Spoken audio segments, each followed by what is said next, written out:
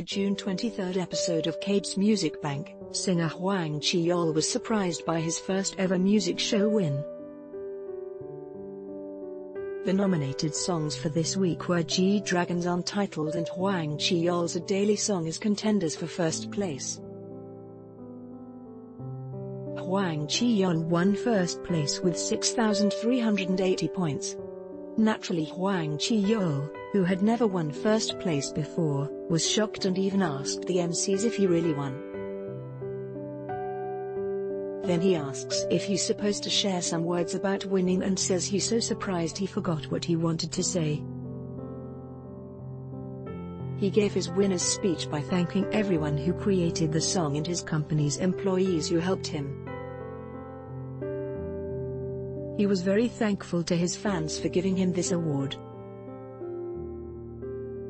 Hwang Chi-yeol is popular in both Korea and China, so he made sure to thank them all. Since he made a promise to breakdance on stage if he won number one, he proceeded to fulfill this vow.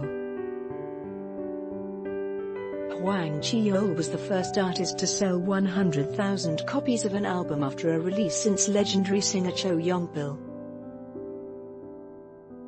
He expressed disbelief when he realized how popular he had become. Now he even has a trophy to show for it. Hwang Chi-yeol debuted in 2007 and released two albums, However because his previous company closed due to financial difficulties, he spent the rest of his 20s doing part-time jobs and teaching at music school.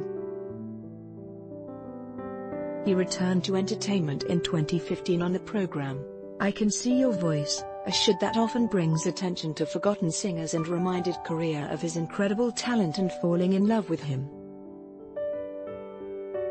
Many fans all over the world are delighted that the singer is being rewarded for his efforts after being in the music industry as a singer, songwriter and vocal instructor for many years. Congratulations to Hwang Chi-yeol. Check out the joyful moment in this week's Music Bank episode below and keep following Moonrock for the latest updates about all your favorite Korean entertainers. Copyright Copyright 2017 Kpopstars.com. All rights reserved.